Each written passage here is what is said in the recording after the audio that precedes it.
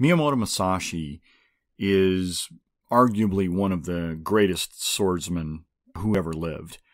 He left 21 precepts, cryptic statements for his students, his disciples, shortly before his death.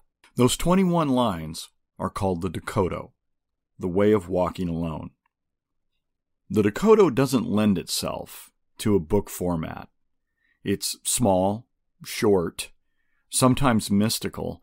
It can be dismissed, but it shouldn't be.